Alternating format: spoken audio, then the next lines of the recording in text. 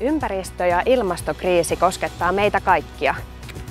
Onneksi me voidaan yhdessä omalla toiminnallamme vaikuttaa kriisin hillitsemiseksi.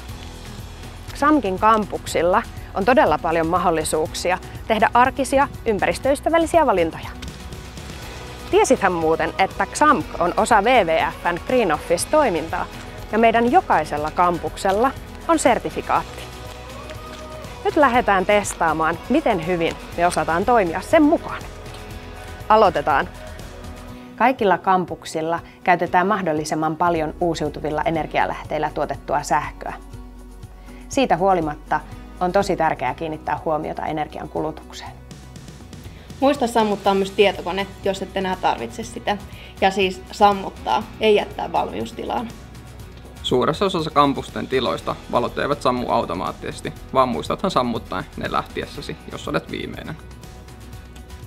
Hei! Yksityisautoilu on yksi merkittävimmistä kasvihuonekaasupäästöjen aiheuttajista. Suosi siis hyötyliikuntaa. Matkat kampukselle on parasta kulkea joko kävellen tai pyörällä. Pidemmillä matkoilla suosithan joukkoliikennettä. XAMKin ravintoloissa suositaan lähialueiden raaka-aineita ja luomutuotteita. Lisäksi tarjolla on aina kasvisvaihtoehto, sillä lihantuotanto aiheuttaa merkittäviä ympäristövaikutuksia. Ota ruokaa vain sen verran kuin jaksat. Ruoka aiheuttaa lähes kolmanneksen meidän ilmastovaikutuksista. Kun syömäkelpoista ruokaa heitää roskiin, kaikki ruoan valmistukseen käytetty työpanos ja energia valuu ihan hukkaan. Otathan kahvisin mukaan kestokuppiin. Muista laitella oikein servitit biojätteeseen. Kampuksilla on alettu kerättää jätteitä uudella tavalla. Työhuoneista ja luokista on viety roskakoreja pois ja tilalle on tuotu käytäville uusia lajittelua helpottavia roskaastioita. Muista laitella ja lue ohjeistukset. Eri paikkakunnilla laittelu voi olla järjestetty eri tavalla, ja pakkauksista saa myös tietoa siitä, kuinka tuote tai pakkaus kuuluu laitella.